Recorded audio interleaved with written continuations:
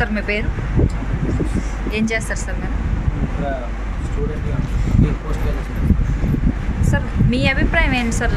నాలుగున్నర ఏళ్ళుగా చూస్తున్నారు. గతంలో కూడా చాలా ప్రభుత్వాలు మీరు చూసే ఉంటారు.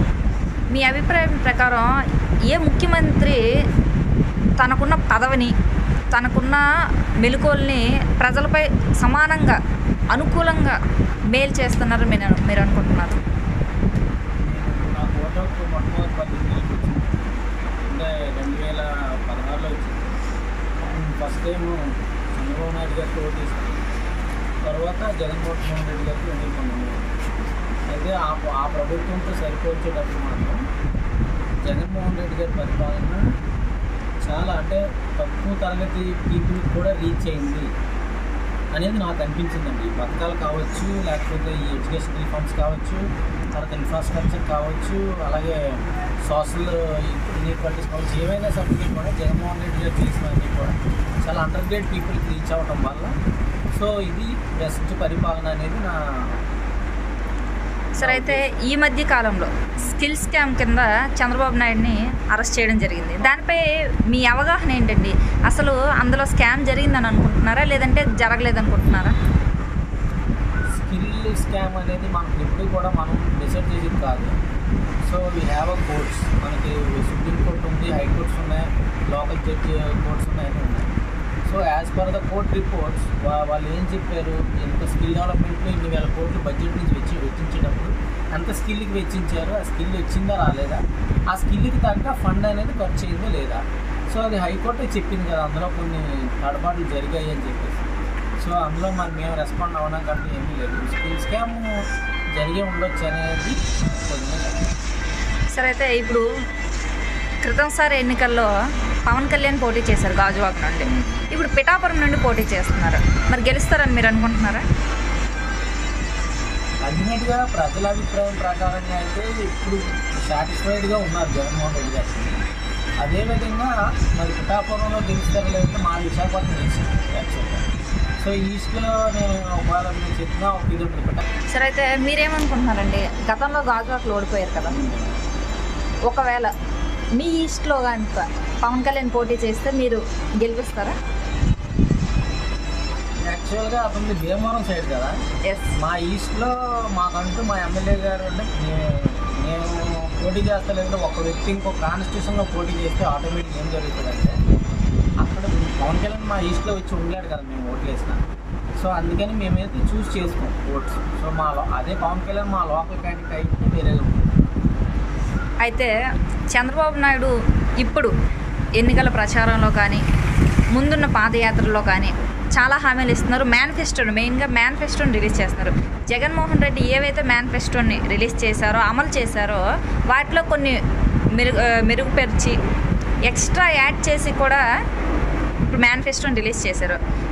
ఇన్ కేస్ అతను గెలిస్తే అవన్నీ జరుగుతాయని మీరు అనుకుంటున్నారా? మేనిఫెస్టో విషయానికి వస్తే మేనిఫెస్టో అనేది ప్రజల కోసం రాజకీయ నాయకులు అంటే పార్టీ సారీ రాజకీయ నాయకులు అనకూడదు as per political party release చేస్తుంది. రిలీజ్ చేసినప్పటికీ కూడా చంద్రబాబు నాయుడు గారు రెండు వేల పంతొమ్మిదిలో మేనిఫెస్టో రిలీజ్ చేశారు. సారీ రెండు వేల పద్నాలుగులో. రిలీజ్ చేసేటప్పుడు ఇంటికి ఒక ఉద్యోగం అన్నారు. కనీసం వీరికి ఒకటి ఇచ్చారా? అనేది ప్రజలకు తెలుసు. రెండోది. అలాగే ప్రతి మహిళకి పసుపు కుంకుమ అనేది లాస్ట్ మినిట్లో స్టార్ట్ చేశారు. అదేవిధంగా ప్రతి యువతకి కూడా నిరుద్యోగ భరోసా అనేది వెయ్యి రూపాయలు. సో తర్వాత అలా అది కూడా లాస్ట్ ఎలక్షన్ ముందు ఒక టూ మంత్స్లో ప్రిపేర్ చేయడం లాంటివి జరిగాయి.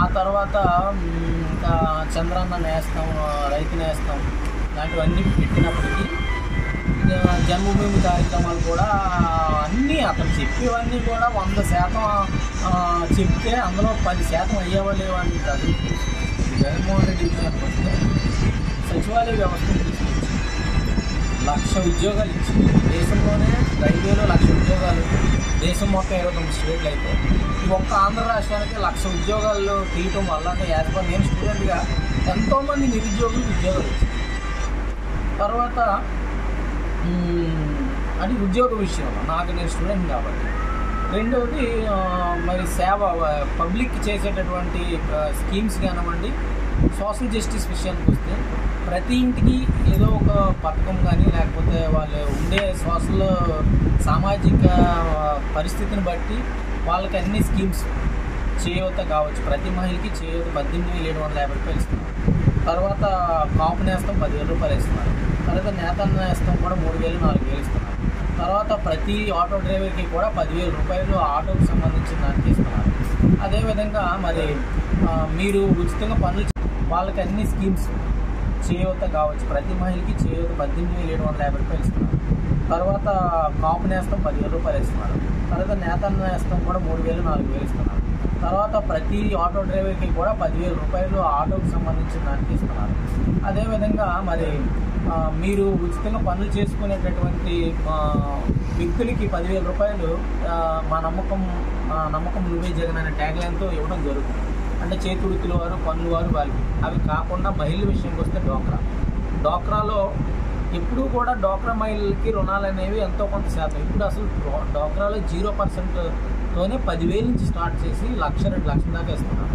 ఒకవేళ మహిళలు వేరే ఉపాధి లేకుండా ఇంట్లో ఏమైనా చేసుకున్నాం ఫెనాయిల్ వ్యాపారం చేసుకుందాము లేకపోతే ఒక డిపార్ట్మెంట్ స్టోర్ నడిపించుకుందాము లేకపోతే సో అండ్ సో చిన్న చిన్నవి చేసుకుందాం అన్నా సరే దానికి అన్ని లోన్స్ అనేవి సపోర్టెడ్గా గవర్నమెంట్ ఉంటుంది.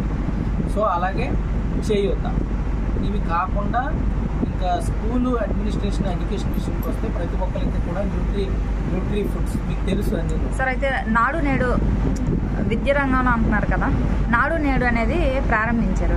నాడు నేడులో ఎలా ఉంది సార్ అసలు స్కూల్స్ యొక్క వైభవం ఎలా మారింది? స్కూల్స్ వైభవం చాలా బాగుందండి. ఇప్పుడు ఇన్ఫ్రాస్ట్రక్చర్ అంతా కూడా పెయింట్స్ తర్వాత స్కూలు ఇప్పుడు కూడా పర్యావరణం బట్టి విద్య మనకు అవుతుంది. అంటే నేను ఒక హైయర్ ఎడ్యుకేషన్ స్టూడెంట్గా ఒక రీసెర్చ్ ఓరియంటెడ్ స్టూడెంట్గా నేను చెప్పుకొచ్చేది ఏమంటే పరిస్థితులు మాత్రం చాలా బాగా మారాయి. ఇదివరకు వాటర్ ఫెసిలిటీ ఉండేది కాదు ఇప్పుడు ప్రతి స్కూల్లో కూడా డ్రింకింగ్ వాటర్ ఫెసిలిటీ ఉంది. అలాగే ప్రతి స్కూల్లో ఒకప్పుడు బాత్రూమ్స్ కూడా బాగా పాడుబడి ఉండేవి. ఇప్పుడు బాత్రూమ్స్ అన్నీ కూడా వెల్ అండ్ గుడ్గా ఉన్నాయి. అలాగే మోస్ట్ ఇంపార్టెంట్ విషయం ఏంటంటే ఒకప్పుడు ఎడ్యుకేషన్ తెలుగు మీడియంలో కొనసాగేది ఇప్పుడు ఇంగ్లీష్ మీడియంలో ప్రవేశపెట్టడం జరిగింది. అది చాలా లాట్ ఆఫ్ యాక్చువల్లీ ఇది అనొచ్చు మంచి స్కీమ్ అనొచ్చు. ఇలా విద్యారంగంలో ఇంకా అనేకమైనటువంటి మార్పులు జరిగాయి. అది కూడా మనం గుర్తించవలసింది. ఓవరాల్గా ఓవరాల్గా ఇంకొన్ని రోజుల్లో ఎలక్షన్ రాబోతుంది. రెండు వేల ఇరవై నాలుగు ఎలక్షన్లో మెజారిటీ ఎవరికి వచ్చే ఛాన్స్ ఉందని ఎవరు నెగ్గే ఛాన్స్ ఉంది మళ్ళీ సీఎంగా ఎవరు కూర్చుంటారని మీరు అనుకుంటున్నారు? అవ్వాలి జగన్మోహన్ రెడ్డికి రుణం చేయాలి అన్ని మన రాష్ట్రం అభివృద్ధి చెందాలన్నా సంక్షేమం పేద బలహీన వర్గాలకు అందాలన్నా నెక్స్ట్ మన డెవలప్మెంట్ పరంగా ఇండియా వైడ్గా ఆంధ్రప్రదేశ్ అనేది మంచి పొజిషన్గా ఉండాలన్నా ఏకైక నాయకుడు తమ్మున్న నాయకుడు విజన్ నాయకుడు ప్రజా పక్షన ప్రజా ప్రజల పక్షం నాయకుడు జగన్మోహన్ రెడ్డి. మిగతా వాళ్ళు చేసే రాజకీయ స్వార్థాలకి వాళ్ళ స్వార్థం కోసం పర్టికులర్ వాళ్ళ సామాజిక వర్గం కోసం. ఇక్కడ ఆల్రెడీ పద్నాలుగు సంవత్సరాలు చేశాను అంటున్నారండి. చెప్పుకోవడానికి ఏమి కనిపించట్లేదు. ఈయన చేసింది నాలుగున్నర సంవత్సరాలు కూడా కాదు. సంవత్సరాలు తీసేస్తే కరోనా. మూడు సంవత్సరాలు చేశారు. మూడు సంవత్సరాలు చాలా సంస్థలు చేశారు. బోర్డు కనిపిస్తున్న ఆర్టీసీని డైరెక్ట్గా గవర్నమెంట్లోకి చేశారు. అలాగే పెన్షన్ అనేది ముసలి వాళ్ళకి ఇంటింటికి ఇస్తున్నారు. గవర్నమెంట్ స్కూల్స్ హాస్పిటల్స్ ఎన్నెన్నో ఉన్నాయి. కోర్టులు ఎన్నో కోర్టులు అనుసంధానం చేస్తున్న పోస్ట్ ఏరియా అంతా అంటే ఈయన నెక్స్ట్ సీఎం అయితే ఆంధ్ర రాష్ట్ర పరిస్థితి కానీ భవిష్యత్తు కానీ చాలా బాగుంటుంది. ఈయన కాకుండా ఎవరు వచ్చినా మళ్ళీ వెనక్కి వెళ్ళిపోతుంది. జగన్మోహన్ రెడ్డి గారు రావాలి.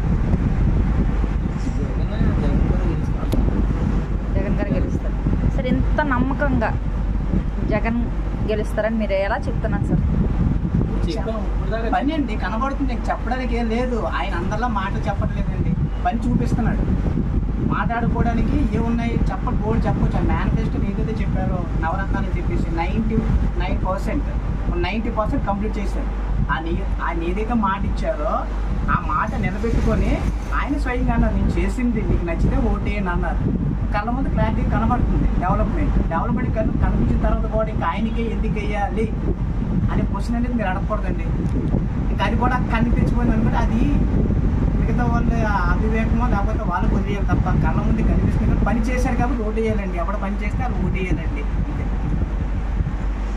అంతేండి పని చేశారు కాబట్టి కరెక్ట్గా పని చేశారు కాబట్టి కరెక్ట్గా అతను అతనికే ఓటే ఇంకా వేరే గవర్నమెంట్ అనేది ఆలోచన లేదు. అయితే మూడు పార్టీలు కలిపి పోటీ చేస్తున్నాయి కదా. ఇంకా ఎక్కువ చేస్తారు అనే నమ్మకం ప్రజల్లో ఏర్పడుతుందా? ఉన్న పార్టీలే కాదండి. మూడు పార్టీలు కలిసి ఏం చేసినా రాదు. ఒక్క వైఎస్ఆర్ సిపి తప్ప జగన్మోహన్ రెడ్డి మాత్రమే చేయగలరని నమ్మకం మాలో కనిపించింది. అందుకు మేము జగన్మోహన్ రెడ్డి గారిని నమ్ముతున్నాం. అదే మూడు పార్టీ కానీ ముప్పై పార్టీలు కానీ ఎన్ని పార్టీలు వచ్చినా గెలిచే జగనేనండి. ఎందుకంటే ప్రజలందరూ క్లారిటీగా చూపించారు పరిపాలన అంటే ఏది. మళ్ళీ అవకాశం ఇస్తే మీ భవిష్యత్తు ఎలా ఉండబోతుంది? అల్టిమేట్ దీనికి ఇందులో మాట్లాడడానికి మాటలు లేవండి. సింపుల్గానా జగన్మోహన్ రెడ్డిని గెలిపించుకుంటే ఆంధ్ర రాష్ట్ర పరిస్థితి బాగుంటుంది. ప్రతిపక్ష నాయకులే కాకుండా స్వయాన జగన్మోహన్ రెడ్డి చెల్లెలు షర్మిల కూడా అతని పైన కొన్ని కామెంట్స్ అయినా చేస్తున్నారు. మరి దానిపై మీ అభిప్రాయం ఏంటండి? రాజకీయంగా రాజకీయంగా ఆవిడ వేరే పార్టీకి వెళ్ళి వేరే రాష్ట్రంలో ఉండి మళ్ళీ ఇక్కడ పంపించారు. అంటే అక్కడే తెలుస్తుంది. ఆవిడ ఎంత నమ్మకం ఉందో అంతా ఆవిడ ఇప్పుడు సమస్య ఇందులో ఆవిడని తీసుకోవాలని అవసరం లేదు. ఆవిడని గుర్తు పెట్టుకుని ఆవిడ పోటీ అనే అయితే ఎవరూ ప్రజలు లేరు. అది. శర్మిలా ప్రభావం అయితే ఉండదండి శర్మిలా గారి విషయం చెప్పాలంటే జగన్మోహన్ రెడ్డి అనే పర్సన్ సొంత ఇంట్లో రాజకీయాలు చేసుకోవాలనుకుంటే ఆయన సీఎం అయిన తర్వాత శర్మిలా గారికి ఎమ్మెల్సీ ఇచ్చి మంత్రి పదవి వచ్చు కానీ నా ఇంట్లో సొంత వాళ్ళు ఎవరు? ఇలాగా చేసుకోకూడదు. నేనే చేయాలి. నిస్వార్థంతో. సపోజ్ ఇప్పుడు మనం మాట్లాడచ్చు మా తెలంగాణలో కేసీఆర్ ఫ్యామిలీ ఉంది. ఆయన ఎప్పుడైతే సీఎం అయ్యాడు కొడుకు అల్లుడు కూతురు అందరికీ రాజకీయ పదవులు ఇచ్చారు. ఈ జగన్మోహన్ రెడ్డికి అది సాధ్యం కాదా? అయిన వెంటనే శర్మిలా గారికి ఎమ్మెల్సీ చూపు మంత్రి పదవి ఇస్తే అయిపోయా? కానీ సొంత చెట్టుని కానీ ఇంట్లో ఎవరు ఇన్వాల్వ్ చేయలేదు రాజకీయాల్లో. నిస్వార్థమైన రాజకీయం చేశారు. పర్సనల్గా ఏవో ఉంటాయి. లోపల ఏవో జరగకపోవచ్చు. నాలుగు సంవత్సరాలు బయటికి రాని ఆవిడ ఇప్పుడే అయితే బయటకు వచ్చింది. సంథింగ్. ఇది ఏంటంటే ప్రజల కోసం ఆయన ఆలోచిస్తారండి. సొంత రాజకీయాలు కానీ ఇంట్లో లబ్ధి పొందాలనే ఆలోచన ఆయన ఉంటే ఎప్పుడు అదే చేసేవాళ్ళు. శర్మిలా గారు ఏంటంటే ఆవిడ తర్వాత తర్వాత తెలుసుకుంటారు. ఎందుకు తప్పు చేసిందని చెప్పేసి. అది ఆవిడ సరే అయితే ఈమె రీసెంట్గా జగన్మోహన్ రెడ్డి స్టార్ట్ చేశారు బస్సు యాత్ర అనేది. చంద్రబాబు నాయుడు కూడా స్టార్ట్ చేశారు. ప్రజాదరణ ఎవరి సభలకు ఎక్కువగా ఉన్నారు ఓపెన్ సీక్రెట్ అండి ఇక్కడ జగన్మోహన్ రెడ్డి అండి ఒక జాతర అంటే ఒక యాత్ర అంటే జాతరలా జరుగుతుంది. అది అందరికీ తెలిసిన ఓపెన్ సీక్రెట్. దానికి చెప్పలేదు జగన్మోహన్ రెడ్డి యాత్ర అనేది ఒక ఒక పేరు పెట్టుకోలేదు. అంత దీనిగా జరుగుతుంది చాలా బాగా జరుగుతుంది.